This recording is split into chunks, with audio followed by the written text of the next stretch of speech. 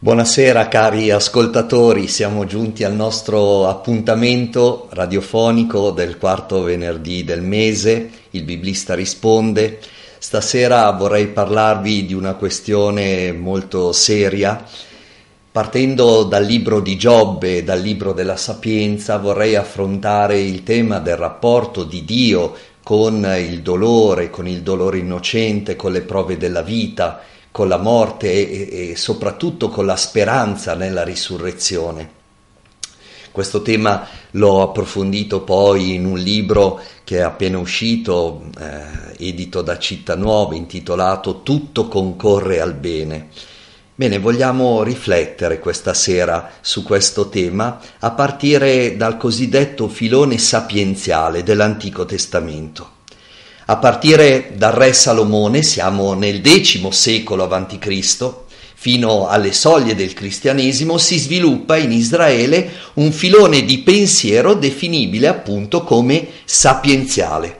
Probabilmente questo genere letterario, questo eh, modo di esprimersi, di ragionare, di far teologia proviene dall'Egitto, dove sono stati ritrovati ben 15 libri della sapienza e la finalità che perseguiva questo tipo di letteratura era quello di formare la classe dirigente, i principi, i re, gli alti magistrati, coloro che erano destinati ad occupare gli alti gradi dell'apparato militare di uno Stato.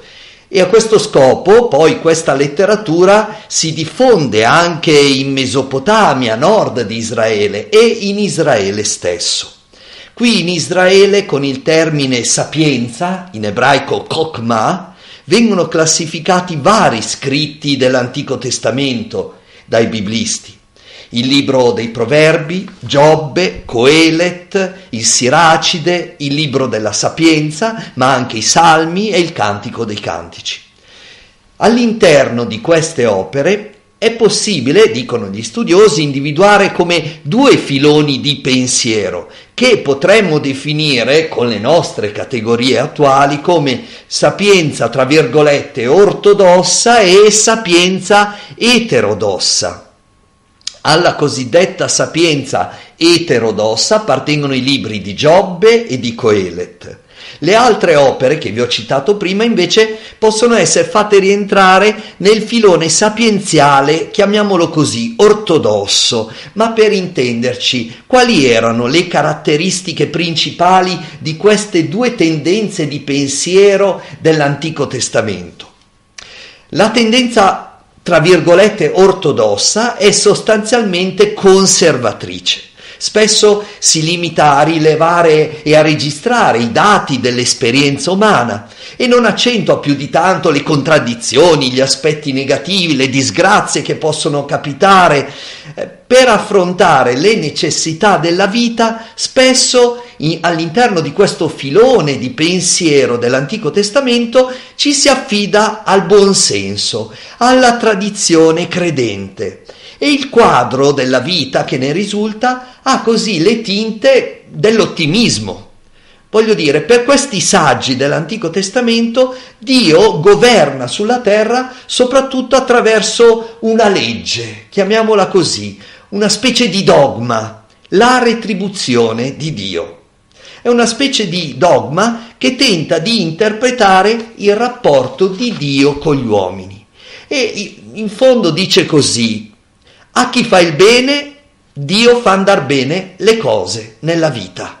Il peccatore invece già su questa terra viene giustamente castigato con quote di sofferenza e di disgrazie direttamente proporzionali alle colpe che ha commesso. Anzi, talvolta questo principio giunge a prevedere anche il rapporto di Dio con i discendenti delle persone in questione le conseguenze positive o negative di un'azione di una persona, del comportamento di una persona, si riverseranno immancabilmente anche sui suoi figli, sui suoi nipoti, fino alla terza, alla quarta generazione. E si era inventato addirittura un proverbio nell'Antico Testamento che recitava così. I padri hanno mangiato l'uva acerba e i denti dei figli si sono allegati. e molto dovranno predicare i profeti Geremia ed Ezechiele nel momento più critico della storia eh, di Israele, il momento dell'esilio a Babilonia, per far capire alla loro gente in crisi di fede che i figli non c'entrano niente con i peccati dei padri, per far comprendere cioè che ognuno è responsabile delle sue proprie azioni di fronte a Dio. Però anche questi due profeti eh, dell'esilio, Geremia ed Ezechiele, in fondo ribadiscono il dogma della retribuzione, sia pure intesa a livello personale. Ognuno morirà, dice Geremia, per la sua propria iniquità e a ogni persona che mangi l'uva cerba si allegheranno i denti. Così pensavano molti saggi in Israele. In contrapposizione a questa prima visione, vedete un po' troppo semplificatrice della realtà della vita, sorge un secondo filone sapienziale nell'Antico Testamento. Per il suo realismo, per l'atmosfera di crisi che si respira in questo filone sapienziale, sembra più, diciamo così, eterodosso del primo filone. Ma attenti, non dimentichiamoci che anche i libri di Giobbe e di Coelet, cioè i libri più, tra virgolette, eterodossi, sono entrati nel canone della Bibbia, in quanto parola di Dio, in quanto parola di Dio in parole umane, in quanto parole umane ispirate dallo Spirito Santo. Anche questi due libri, insomma, rivelano un aspetto del volto del nostro Dio. Giobbe e Coelet criticano l'ottimismo di fondo della prima tendenza eh, sapienziale e insistono cocciutamente sulle contraddizioni della vita, sulle disgrazie che capitano nella vita, sul non senso, sulla vanità in cui può ammalarsi anche l'uomo di fede. Pensate Coelet, vanità delle vanità, tutto è vanità capite subito che lo stesso interrogativo su Dio, posto da questi due punti di vista, il filone sapienziale più ortodosso, più ottimista e il filone sapienziale più eterodosso, più pessimista, diciamo così, porterà a risposte diverse. E il cristiano, e noi cristiani, il cristiano dovrà tentare di leggere queste due testimonianze diverse, provenienti dai credenti dell'Antico Testamento, alla luce di un terzo punto di vista, che è quello di Gesù Cristo.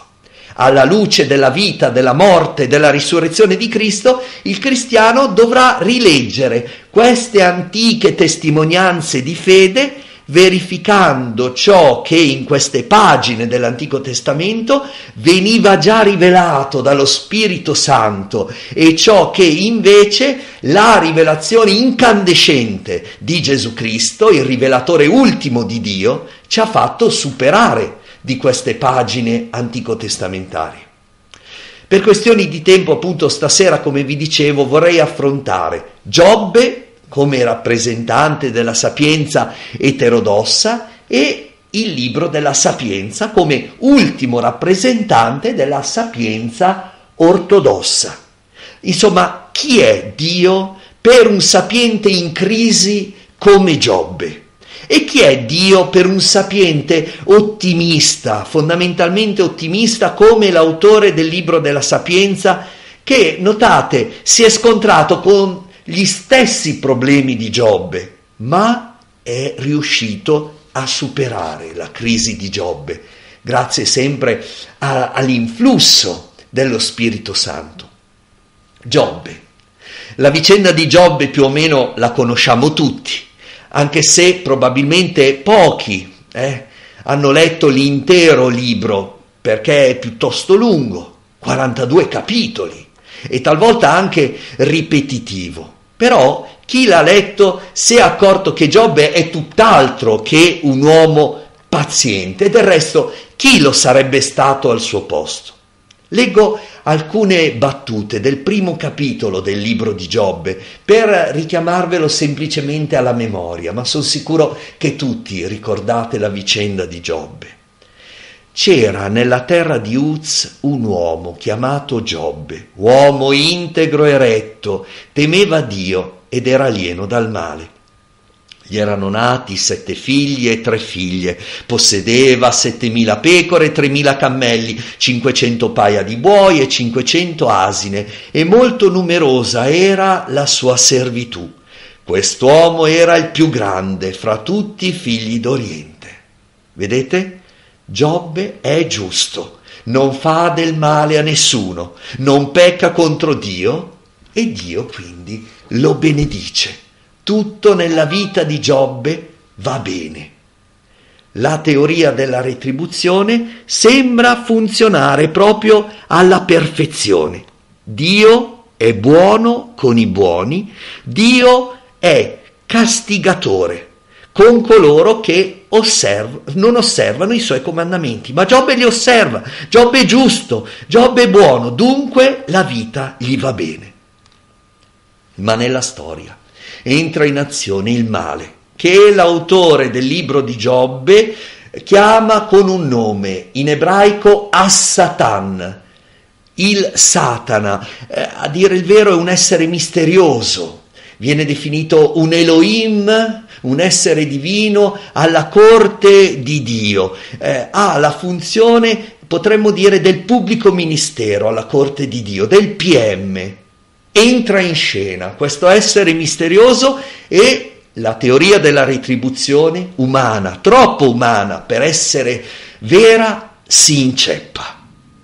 Sentite, un giorno i figli di Dio andarono a presentarsi davanti al Signore e anche il Satana andò in mezzo a loro.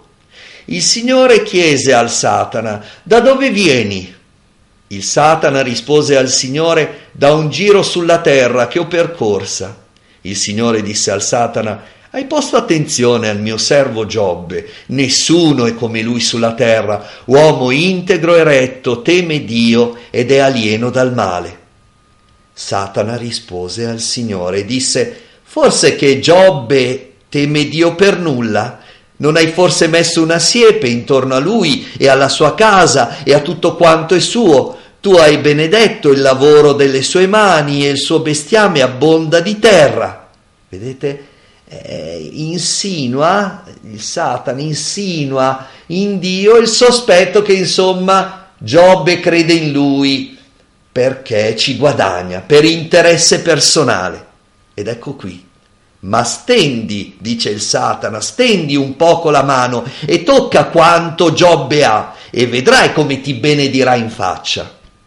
Il Signore disse al Satana, ecco quanto e possiede è in tuo potere, ma non stendere la mano su di lui.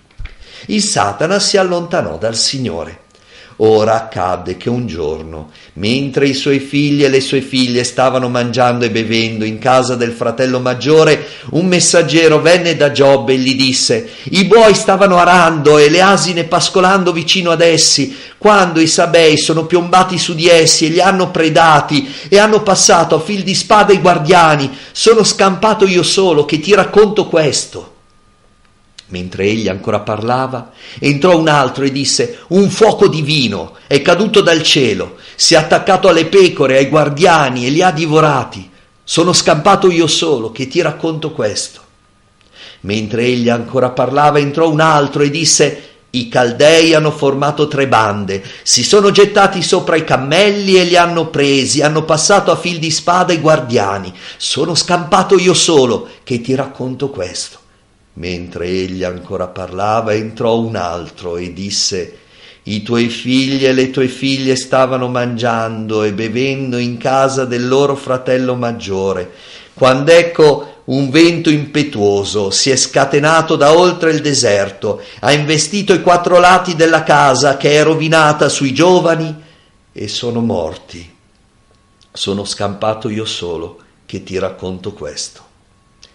Allora Giobbe si alzò e si stracciò le vesti, si rase il capo, cadde a terra, si prostrò e disse Nudo uscii dal seno di mia madre e nudo vi ritornerò. Il Signore ha dato, il Signore ha tolto, sia benedetto il nome del Signore.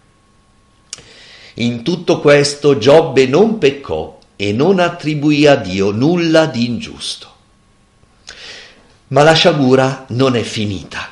Di lì a poco tempo, in questa specie di pièce teatrale eh, che è il libro di Giobbe, Giobbe verrà colpito di nuovo dal Satana, stavolta nella sua stessa carne, con una malattia dalla testa ai piedi. E per la seconda volta Giobbe non fa peccato. Non si rivolta contro Dio, bestemmia come vorrebbe invece sua moglie, anzi rimprovera sua moglie, come parlerebbe una stupida tu hai parlato. E poi aggiunge Giobbe una professione di fede davvero ineccepibile. Dice, se da Dio accettiamo il bene, perché non dovremmo accettare il male? Ma già qui la domanda dentro di noi sale, ma è da Dio che ci arriva il male? A questo punto entrano in scena, su questa specie di teatro che è il libro di Giobbe, tre amici sono spinti, notate, dalle migliori intenzioni, vogliono consolare il loro amico comune che è caduto in disgrazia. E giunti da lui lo trovano in fin di vita, prostrato e si mettono a piangere, si stracciano le vesti, si cospargono il capo di cenere in segno di dolore, in segno di solidarietà con il loro amico comune, si siedono per terra con lui, di fianco a lui e restano così tutte e quattro in silenzio per sette giorni e per sette notti.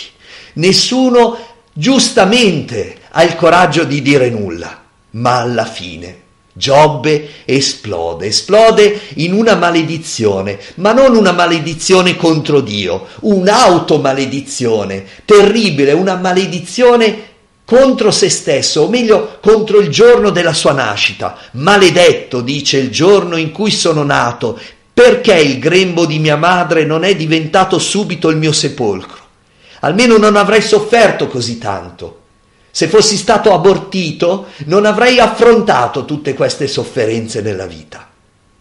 È la disperazione che ha preso il sopravvento sulla fede in Dio del buon Giobbe e di fronte a questo lamento cieco, allora i suoi amici cercano le parole giuste per consolarlo e cosa fanno? Si rifanno alle certezze su Dio che anche loro fin da piccoli avevano imparato. Tentano insomma di riproporre a Giobbe l'idea di Dio elaborata precisamente dal filone della sapienza ortodossa di cui vi parlavo prima, la sapienza ottimista e con varie motivazioni, da un lato gli amici di, Do, di Giobbe tentano di prendere loro le difese del Signore di fronte alla ribellione di Giobbe, e dall'altra parte cercano di convincere Giobbe che se Dio ha mandato su di lui le sciagure, significa che in qualche modo è stato lui a commettere peccato. Ma Giobbe nega questo, lo nega con risolutezza. È sicuro Giobbe di essere dalla parte della ragione, in coscienza non trova alcun peccato degno di essere colpito da un castigo di Dio così tremendo. Certo avrà fatto peccato anche lui, ma non un peccato così grave da essere castigato così gravemente. E gli amici ribattono che magari Giobbe non lo sa o non se ne ricorda, ma Dio è onnisciente, sa tutto, sa bene quali sono stati gli atti commessi da Giobbe che hanno causato lo scatenarsi della sua ira contro di lui. E per pagine e pagine questo tentativo di consolazione prosegue, ma invano perché di fronte al Dio della retribuzione, che i suoi tre amici, che poi diventeranno quattro, eh, che i suoi tre o quattro amici tentano di propinargli, Giobbe perde la pazienza e non smette di protestare contro un Dio che sembra quasi divertirsi sadicamente a lanciare le sue frecce, le sue disgrazie dall'oscurità della sua trascendenza, dall'alto della sua torre d'avorio, per castigare gli uomini persino per peccati che, dice Giobbe, in fondo non hanno commesso. E, e Giobbe a un certo punto si rivolge proprio a Dio, discute con lui. Perché non mi finisci subito? Sembra dirgli. Ormai è spazientito. Su, fammi morire. Almeno è finita per me. Però, prima di farla finita, Signore, abbi il coraggio di uscire allo scoperto. Smettila, smettila di lanciare le frecce delle tue disgrazie da lontano, di nascosto. Vieni fuori e dimmi questa sola cosa. Perché sto soffrendo? Perché mi hai tolto soprattutto i figli, se non ho fatto niente di male a nessuno? O perlomeno non ho fatto un male così grave da meritare questo tuo castigo. Perché mi hai colpito con questa malattia se non ti ho offeso con un peccato grave? Questo solo voglio sapere. Poi posso pure uscire di scena. Falla finita con me. Questa è la protesta spazientita di Giobbe. E questa protesta ad un certo punto si concentra come in un grido di speranza, un grido che Giobbe lancia verso il cielo. Urla, io lo so che il mio vendicatore è vivo. Iniziamo a tradurre così. Si potrebbe tradurre anche il mio redentore è vivo. In ebraico abbiamo il mio Goel è vivo. Siamo nel capitolo diciannovesimo del libro di Giobbe, che secondo me è il centro di questo libro. Io lo so che il mio vendicatore è vivo e che ultimo si ergerà sulla polvere. Dopo che questa mia pelle sarà distrutta, senza la mia carne, vedrò Dio, io lo vedrò io stesso e i miei occhi lo contempleranno non da straniero. Come a dire, amici, voi mi assicurate che il vostro Dio ha ragione. Voi tentate ad ogni costo di convincermi che le mie sofferenze, la morte dei miei figli abbiano un motivo, anzi, voi vi arrampicate sui vetri, potremmo dire, per dimostrarmi come questo motivo sia radicato nel mistero stesso di Dio. Un Dio giusto, un Dio retributore, un Dio che nella sua giustizia mi sta castigando. Ebbene tutto dentro di me si rivolta perché mi dice che il vostro Dio non esiste. Il Dio che mi annunziate è una vostra immagine di Dio, ve la siete inventata voi per far tornare i conti della vostra vita, della storia del vostro popolo, dell'universo intero, ma ve lo siete inventato voi. Qualcosa dentro il mio cuore mi dice che ci sarà un Goel, un vendicatore delle mie sofferenze e alla fine della mia vita, o forse anche oltre la fine della mia vita, io lo vedrò. E chi è questo redentore, questo vendicatore, questo Goel che eh, Giobbe eh, chiama in sua difesa? Il vendicatore, il Goel, nel diritto ebraico dell'Antico Testamento, era il parente più vicino di una persona caduta in disgrazia, il quale aveva il dovere di prendersi cura di questa persona.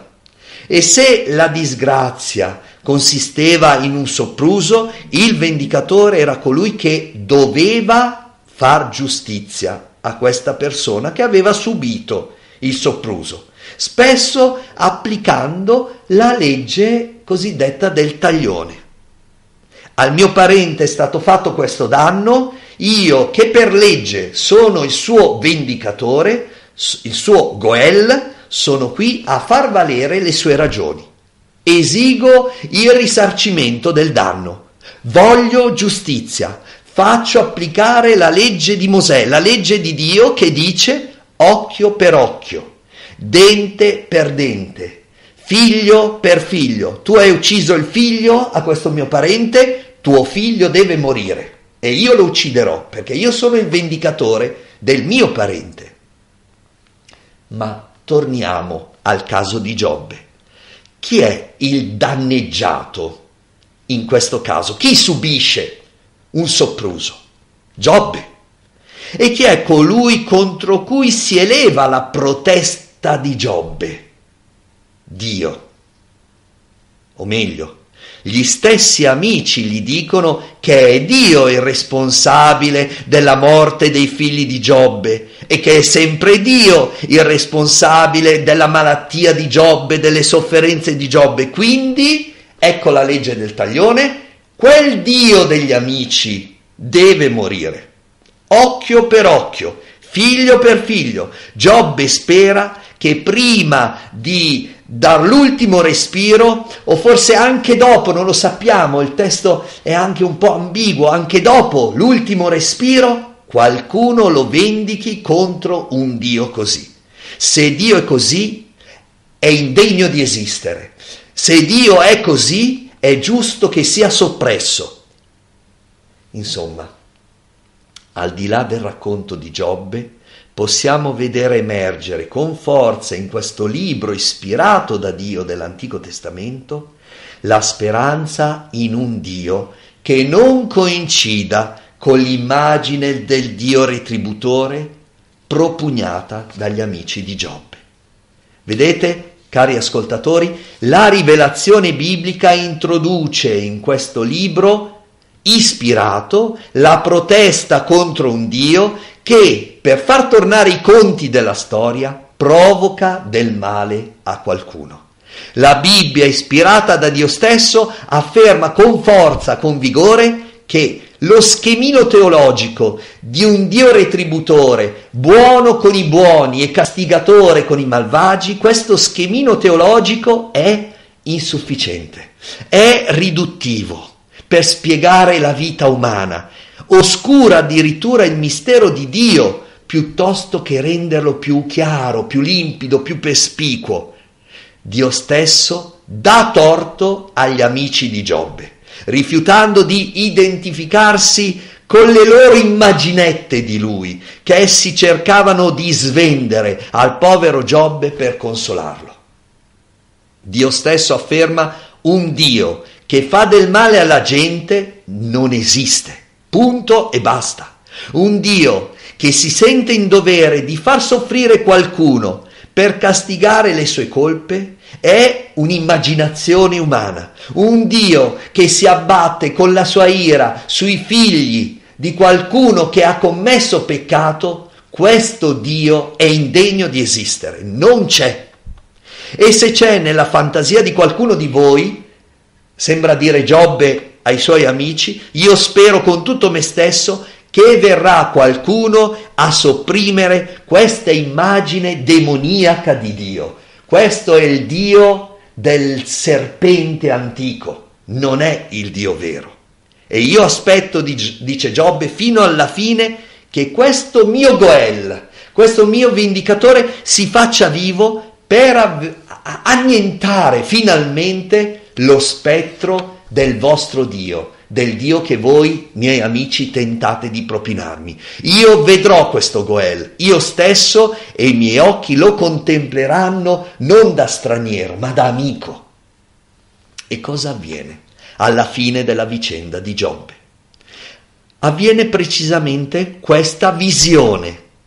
Giobbe con i suoi occhi finalmente vede, ma Colpo di scena, in questa pièce teatrale meravigliosa che è il libro di Giobbe, colpo di scena, il vendicatore, il Goel che Giobbe vede, non è altri che Dio stesso.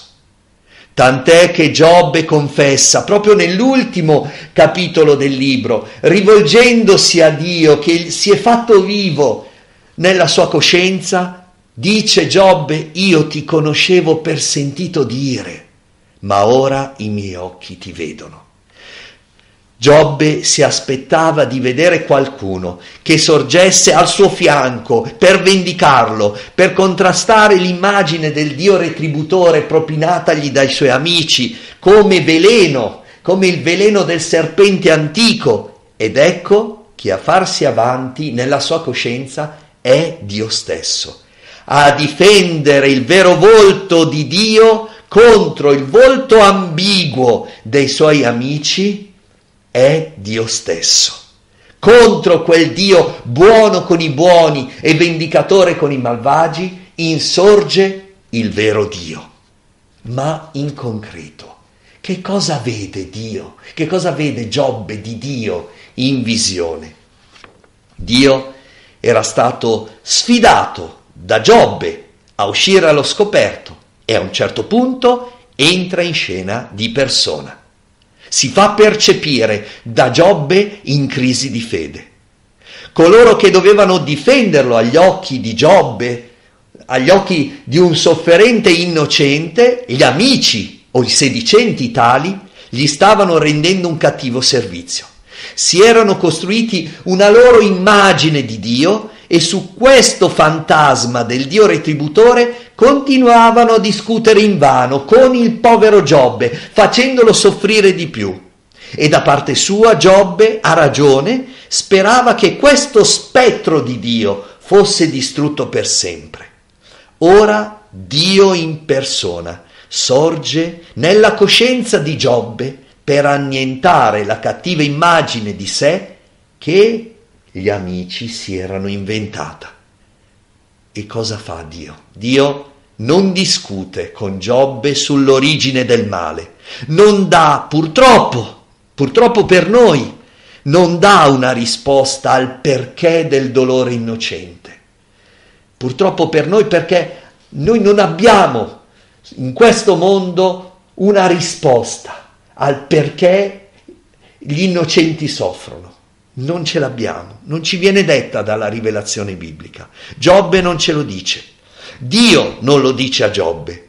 Dio non discute sull'origine del male, ma affronta Giobbe su un altro tema. Gli fa contemplare tutta la creazione e poi di fronte allo spettacolo meraviglioso della creazione è come se inchiodasse Giobbe con le spalle al muro con una serie interminabile di domande. Al perché di Giobbe Dio risponde con ben quattro capitoli interi di domande, dal capitolo 38 al capitolo 41. Dov'eri tu? chiede Dio a Giobbe quando io ponevo le fondamenta della terra, quando io creavo il mondo. Dillo se hai tanta intelligenza. Chi ha fissato le dimensioni del mondo, se lo sai? O chi ha teso su di, su di esso la misura? Chi ha chiuso tra due porte il mare quando erompeva uscendo dal seno materno, quando lo circondavo di nubi per veste e per fasce di caligine folta? Poi gli ho fissato un limite, ho fissato un limite al mare e gli ho messo chiavistello e porte e ho detto fin qui giungerai e non oltre. Qui si infrangerà l'orgoglio delle tue onde. Da quando vivi, Giobbe, hai mai comandato al mattino e assegnato il posto all'aurora? Sei mai giunto alle sorgenti del mare e nel fondo dell'abisso hai tu passeggiato? Ti sono state indicate le porte della morte, vedete qui il tema ti sono state indicate le porte della morte e hai visto le porte dell'ombra funerea? Dillo se sai tutto questo. Certo, tu lo sai, perché allora eri nato e il numero dei tuoi giorni è assai grande. Notate, Dio fa anche dell'ironia con Giobbe. Sei mai giunto ai serbatoi della neve? Hai mai visto i serbatoi della grandine? Per quali vie si espande la luce, si diffonde il vento d'Oriente sulla terra? Scagli tu i fulmini e partono dicendoti Eccoci?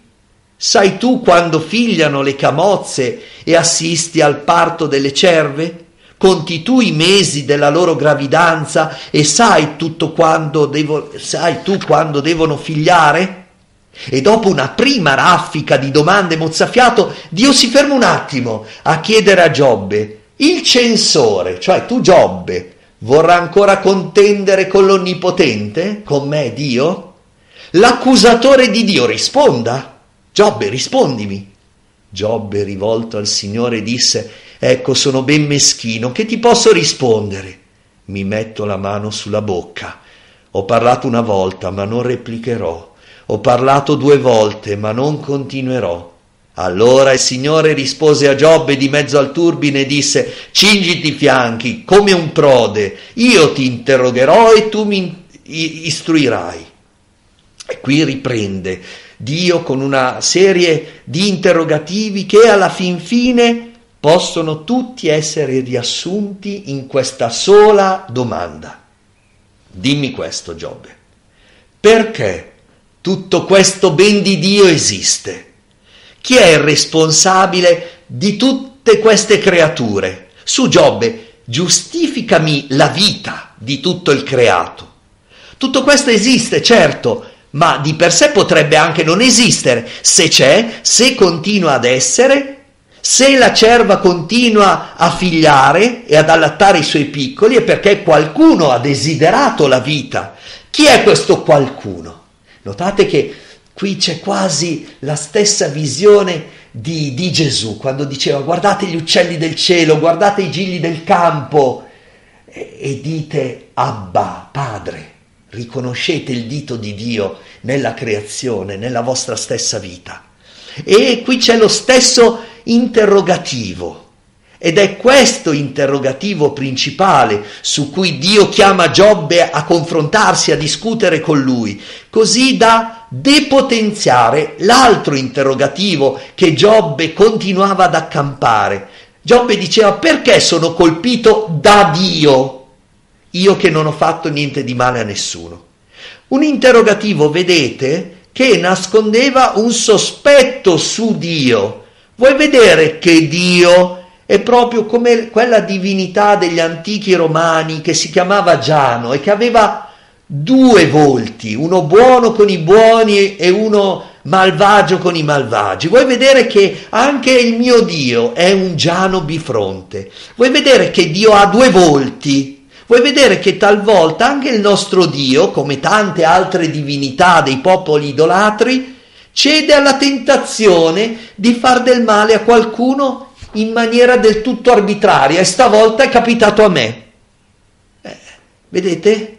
Dio di fronte a questo sospetto mette Giobbe con le spalle al muro, continuando a ribadire un altro interrogativo. Dimmi prima, Giobbe, perché esiste la vita?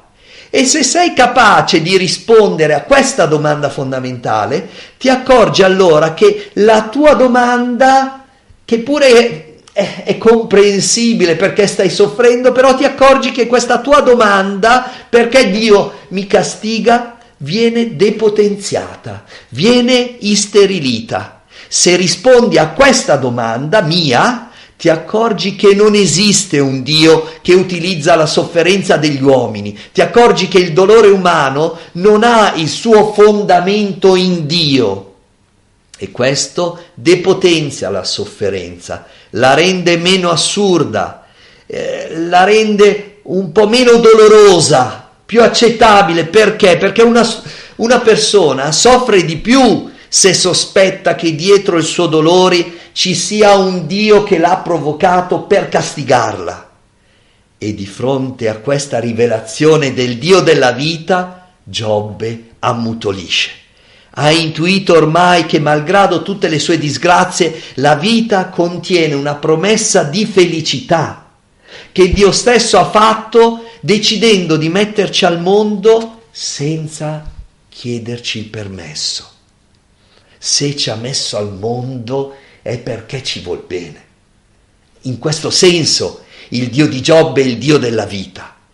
Dio per il saggio Giobbe non è né il dio retributore propinatogli dai suoi amici, né il Giano bifronte dell'antichità classica. Anzi, Giobbe spera che questi due fantasmi di Dio siano dissolti una volta per sempre da un vendicatore, da un Goel, insomma da qualcuno che sappia vendicare tutti coloro che come lui stanno soffrendo e le cui sofferenze sono aggravate dal sospetto che Dio stesso le abbia causate, Dio stesso abbia mandato quelle disgrazie per castigarlo.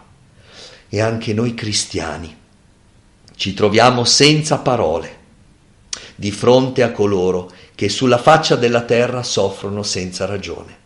perché in sintesi nel libro di Giobbe non abbiamo una risposta alla questione del dolore innocente. Però Giobbe ci fa comprendere, in questo senso è un libro ispirato che è stato mantenuto nella Bibbia sia dagli antichi ebrei sia da noi cristiani, Giobbe ci fa comprendere che non dobbiamo propinare risposte di basso profilo come quelle dei tre o quattro amici di Giobbe. Perché chi si comporta come quei tre o quattro non solo non aiuta chi è nella sofferenza, ma non riesce neppure a difendere davvero il volto di Dio. In positivo il libro di Giobbe fa leva sull'immagine cristallina e autentica del Dio creatore questo libro dell'Antico Testamento è parola di Dio perché di fronte allo scandalo della sofferenza innocente dischiude la nostra speranza al Dio della vita. Se Dio ci ha messo al mondo senza chiederci niente, è perché ci vuol bene. Creandoci è come se Dio ci avesse fatto una promessa di felicità e nonostante tutto Dio manterrà la sua parola. Ecco il grido di Giobbe. Il mio Goel, il mio vendicatore è vivo e alla fine, anche se dovrò affrontare queste sofferenze nella vita, io lo vedrò. Questa è la speranza insopprimibile di Giobbe che Giobbe ci dona. Ma qui siamo nel quinto secolo avanti Cristo. La rivelazione antico-testamentaria di Dio continua e continua proprio facendo leva su questa speranza nel Dio della vita e aprendosi piano piano alla speranza nella risurrezione dei morti. Ad una vera e propria fede nella risurrezione dei morti il popolo di Israele arriva però soltanto intorno al secondo secolo Cristo. Giobbe V secolo, secondo secolo a.C., sorge la speranza nella risurrezione dei morti in Israele. Prima, e prima di quel momento, prima del secondo secolo a.C., il senso della morte umana, anche per gli antichi israeliti, è la tragedia di una duplice rottura di relazioni la relazione dell'uomo con gli altri uomini e la relazione del morente con Dio. Se ci pensate bene, senza queste due relazioni l'essere umano semplicemente non esiste. Non è che come si poteva immaginare, non so, nella filosofia platonica, non è che prima c'è l'idea dell'uomo in astratto da qualche parte e poi questa idea viene lanciata nel mondo per cui l'essere umano è messo in relazione con Dio e con gli altri esseri umani. No, no o l'essere umano è in relazione fin dal concepimento con Dio, con il Dio creatore e con gli altri, se non altro con i suoi due genitori, oppure semplicemente non è essere umano, è una statua di marmo, è una pietra, è un tavolo, è un cagnolino, è una scimmietta, ma non è un essere umano. Ebbene, la tragedia della morte per pagine e pagine dell'Antico Testamento prima del secondo secolo a.C. è dovuta al fatto che l'essere umano viene alla luce con la promessa iscritta nella sua stessa esistenza, nella sua stessa carne, di essere un vero uomo, una vera donna, di realizzarsi come essere umano, amando gli altri esseri umani e amando più radicalmente ancora il Dio creatore e arriva la morte che stronca queste due relazioni. L'essere umano si trova impedito dalla morte a realizzare questo desiderio d'amore che lui stesso è. Per questo la morte per gran parte dell'Antico Testamento è tragica, perché impedisce radicalmente alla persona umana di essere persona umana.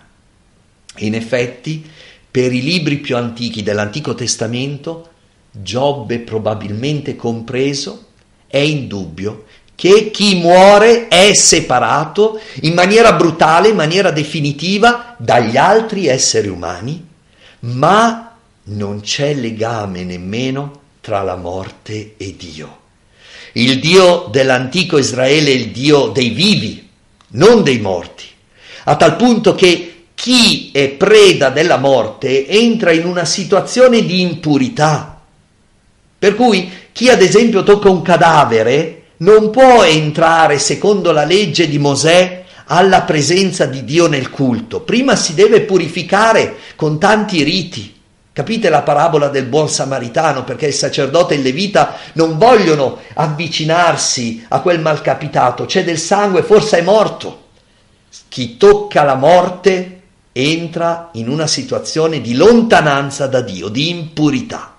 E il defunto stesso non può far altro che, ma, sussistere, diciamo così, come una larva umbratile nel cosiddetto Sheol, nel regno dei morti, l'ambito della non esistenza. E là il defunto non può nemmeno alzare la sua lode a Dio. Non i morti lodano il Signore, ma i vivi, dicono i salmi, possono lodare il Signore. Quindi barriera invalicabile di separazione da Dio e dagli uomini, la morte è puro non senso per tante pagine dell'Antico Testamento. Ma con il secondo secolo a.C. alcuni filoni del giudaismo si aprono alla speranza nella risurrezione dai morti. Sicuramente grazie alla spinta dello Spirito Santo che ha ispirato questi libri. In parte il motivo va cercato negli influssi provenienti dalle credenze religiose delle culture circostanti, la cultura persiana, la cultura egiziana, pensate al culto dei morti dell'antico Egitto, all'imbalsamazione dei nobili del faraone nell'antico Egitto, ma è soprattutto il martirio di numerosi ebrei per opera di un dittatore Antioco IV l'Epifane, siamo nel 167-164 a.C., è proprio il martirio di questi giudei che fa scaturire questa speranza nella risurrezione dai morti a causa della terribile persecuzione scatenata da questo dittatore per tentare di ellenizzare il popolo di Israele, per portarlo a vivere secondo le mode ellenistiche, non secondo l'alleanza con Dio, a causa di questa terribile persecuzione ci sono tanti martiri che si oppongono al dittatore e nasce nella coscienza religiosa di Israele la speranza nella risurrezione dei morti fondata su due verità, su due dogmi ancora una volta. La prima verità è la fedeltà eterna del Signore a chi gli è fedele. Vedete che la fatica di Giobbe a perseverare nella speranza di un Dio Goel non è stata vana. Seconda verità, si insiste sulla giusta retribuzione di Dio. I giusti martirizzati in nome della legge di Dio non possono essere abbandonati da Dio in potere della morte. Sono morti per Lui. Dio è giusto, deve intervenire. Ed ecco che in questo frangente di persecuzioni e di martiri del secondo secolo avanti Cristo troviamo il racconto del martirio dei sette fratelli e della loro madre in due Maccabei sette. Sette fratelli e la loro madre fatti letteralmente a pezzi da un dittatore proprio per rimanere fedeli a Dio, per non rinnegare di Dio. Dio. E troviamo anche il passo contemporaneo di Daniele 12. Siamo nel secondo secolo avanti Cristo. E questi due testi, 2 Maccabei 7 e Daniele 12, costituiscono la prima chiara attestazione biblica della speranza nella risurrezione corporea dell'essere umano. In altre parole, stando a questi due testi, la risurrezione riguarda l'essere umano unitariamente inteso nella sua personalità, membra corporee incluse. Anzi, la risurrezione corporea, nel suo esito antitetico, cioè felicità eterna per coloro che sono stati fedeli all'alleanza con Dio e castigo eterno per i malvagi, la risurrezione dei morti diventa così lo strumento ultimo e definitivo per mostrare la giustizia di Dio. Accanto alla testimonianza però di 2 Maccabeis 7 e di Daniele 12 troviamo anche altri testi più tardivi ancora. Vedete che la rivelazione nell'Antico Testamento progredisce. Altri testi che risentono però del modo di vedere l'uomo, del modo di pensare l'essere umano tipicamente greco. Troviamo in questa evoluzione della rivelazione di Dio un influsso esercitato sui testi biblici dalla visione dell'uomo ellenistica. In questo orizzonte greco-ellenistico l'uomo non è più visto tendenzialmente in maniera unitaria, come in tanti testi nella Bibbia, pensate al libro della Genesi, l'uomo chi è? È un corpo animato dallo spirito vitale soffiatogli dentro dal creatore. No, eh, in questi testi tardivi dell'Antico Testamento, per l'influsso ellenistico, si pensa l'essere umano come un'anima incarnata, come un'anima imprigionata o decaduta in un corpo. E naturalmente in questo modo di vedere l'uomo eh, si nota cer- un certo dualismo, possiamo dire così. Da un lato c'è la corporeità destinata finire in pasto ai vermi e dall'altra parte c'è l'anima, le facoltà spirituali, intellettuali, volitive, l'anima sì, che è immortale. Vedete come questa visione dell'uomo ha una ricaduta sul modo di sperare la vita dopo la morte.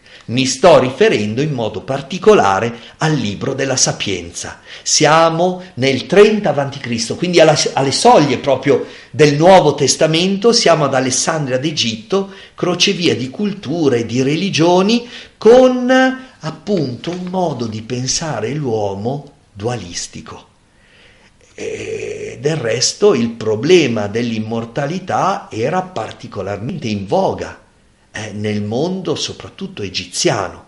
Ebbene, all'interno dell'opera, libro della Sapienza, un'opera ispirata dell'Antico Testamento, troviamo l'ultima testimonianza dell'Antico Testamento che però presenta sull'aldilà, che però presenta la risurrezione, potremmo dire così, che ha per soggetto le anime.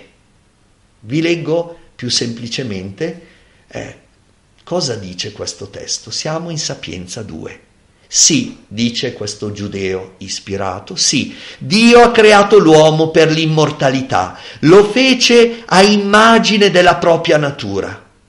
Vedete come anche la sapienza ottimista, ortodossa, si apre proprio come il libro di Giobbe alla rivelazione del Dio creatore. Dio ama la vita. Dio creando gli esseri umani è come se avesse fatto loro una promessa. Sarai felice, continuerai a vivere per sempre. Perché? E perché ti ho messo al mondo io senza chiederti il permesso, dunque ti ho voluto bene e ti ho creato per questo, per volermi bene e dunque per essere felice. Sarebbe stato il massimo della crudeltà o del sadismo se io, Dio, ti mettessi al mondo, ti avessi messo al mondo con dentro un anelito di vita, una sete di vita e poi se ti avessi lasciato finire nell'estuario del nulla. No, io che sono eterno ti ho fatto per l'immortalità, per l'incorruttibilità. Dio, dice il testo, ha creato l'uomo per l'immortalità, lo fece immagine della propria natura, quindi lui eterno, noi immortali. Ma, ecco qui, la morte, dice questo autore, è entrata nel mondo per invidia del diavolo e ne fanno esperienza coloro che gli appartengono. Ritorna, notate, la questione seria di Giobbe. E ancora una volta per spiegare lo scandalo della morte si risale non a Dio. Dio non vuole la morte delle persone, Dio non vuole la sofferenza dei suoi figli, Dio non vuole il male di nessuno perché è il sommo bene. Ma allora perché c'è la morte? Perché c'è la sofferenza, il dolore innocente? Eh, questo autore fa risalire questo al diavolo e alla libertà umana che sceglie di lasciarsi dominare da lui. Ma vediamo in positivo qual è la sorte di coloro che decidono liberamente di vivere come Dio comanda, di affidarsi a Dio. Le anime dei giusti, dice questo autore, sono nelle mani di Dio, nessun tormento le toccherà. Agli occhi degli stolti parve che morissero, la loro fine fu ritenuta una sciagura, la loro partenza da noi una rovina, ma essi sono nella pace. Anche se agli occhi degli uomini subiscono castighi, la loro speranza è piena di immortalità. Notate come l'autore ispirato del libro della Sapienza si scontra in fondo con lo stesso problema misterioso di Giobbe, ma la sua speranza nel Dio che fa risorgere dai morti gli permette di superare la crisi di fede di Giobbe. E continua, per una breve pena riceveranno grandi benefici, perché Dio li ha provati e li ha trovati degni di sé, li ha assaggiati come oro nel crogiuolo e li ha graditi come un olocausto. Attenti che qui siamo però prima di Gesù Cristo. Gesù Cristo andrà oltre questo, eh? Chi ha peccato, lui o i suoi genitori, perché nascesse cieco? Gli chiedono i discepoli davanti a quel ceconato e Gesù dice né lui ha peccato né i suoi genitori. Quindi la sofferenza non è un castigo di Dio, non è una prova di Dio. E continua il libro della sapienza, nel giorno del loro giudizio i giusti risplenderanno come scintille nella stoppia, correranno qua e là, governeranno le nazioni, avranno potere sui popoli e il Signore regnerà per sempre su di loro. Quanti confidano nel Signore comprenderanno la verità Coloro che gli sono fedeli vivranno presso di lui nell'amore. Vedete cos'è l'immortalità? Vivranno presso di lui nell'amore, perché grazia e misericordia sono riservate ai suoi eletti. Notate, questo autore non può ignorare la concezione dell'uomo, del mondo ellenistico in cui vive concezione secondo cui l'anima è il principio spirituale dell'essere umano che si distingue dalla materialità del corpo, di questa tenda d'argilla, di questo corpo corruttibile. L'anima è immortale. Il corpo, il corpo semplicemente è una tomba dell'anima. L'anima si deve liberare, dicevano gli antichi greci, si deve liberare da questo corpo corruttibile. Notate questo giudeo che crede nella risurrezione corporea dei morti per evitare la reazione immediata dei suoi ascoltatori, dei suoi lettori, eh, che sono di formazione greco-ellenistica, per evitare la loro reazione contro la dottrina della risurrezione corporea dei morti, e si vede costretto a esprimere la sua speranza nella sopravvivenza ultraterrena dell'io personale con le loro stesse categorie per evitare la reazione degli ateniesi contro cui si, si, scontrò lo stesso apostolo Paolo quando nell'Areopago si mise a parlare, leggete Atti 17, della risurrezione corporea di Gesù e dei credenti e quando, dice il testo, sentirono parlare di risurrezione dai morti, gli ateniesi dissero a Paolo, su questo Paolo ti sentiremo un'altra volta. Allora l'autore del libro della Sapienza, per evitare questa reazione di rifiuto, esprime la sua speranza nella risurrezione corporea con i termini dell'immortalità dell'anima, dell'incorruttibilità dell'anima ma notate, per lui l'immortalità non coincide alla maniera greca con una qualità essenziale della natura dell'anima umana. L'anima, dicevano, semplifico un po' gli antichi greci, l'anima è spirituale come il divino, dunque è immortale come eterni sono gli dei. No, per questo giudeo credente dell'Antico Testamento c'è una risurrezione corporea eh, del, eh, dell'essere umano, ma lui l'esprime come immortalità, ma questa immortalità è una relazione di comunione con Dio, nella vita di Dio. È un dono che Dio promette al giusto che confida in Lui. Con questa speranza siamo giunti al Nuovo Testamento, a Gesù stesso. E allora concludo. Concludo con una frase suggestiva di Martin Lutero e con una preghiera del libro della sapienza. Sono due inviti alla speranza per tutti noi credenti in Cristo, ma soprattutto per quei credenti che stanno facendo la ruvida esperienza di Giobbe, che stanno attraversando dei periodi crocifiggenti. Ebbene, Martin Lutero scrisse queste parole strane, paradossali, come piaceva a lui, ma che contengono una scintilla di verità sul volto del nostro Dio, il Dio di Gesù Cristo. Dio, dice Lutero, gradisce molto di più le bestemmie del disperato che non le lodi tranquille compassate del benestante. E con questa consapevolezza nel cuore vorrei però leggervi una preghiera al Dio creatore, al Dio della vita che si trova nel libro della Sapienza, al capitolo 11. Un libro, vi dicevo, che affronta la stessa crisi di Giobbe ma la supera nella speranza. Signore, prega l'autore del libro della Sapienza, prevalere con la forza ti è sempre possibile. Chi potrà opporsi al potere del tuo braccio? Tutto il mondo davanti a te come polvere sulla bilancia, come una stilla di rugiada mattutina caduta sulla terra hai compassione di tutti, perché tutto tu puoi. Non guardi ai peccati degli uomini in vista del pentimento, poiché tu ami tutte le cose esistenti e nulla disprezzi di quanto hai creato. Se avessi odiato qualcosa, non l'avresti neppure creata. Come potrebbe sussistere una cosa se tu Dio non vuoi? O conservarsi se tu non l'avessi chiamata l'esistenza. Tu risparmi tutte le cose perché tutte sono tue, Signore, amante della vita.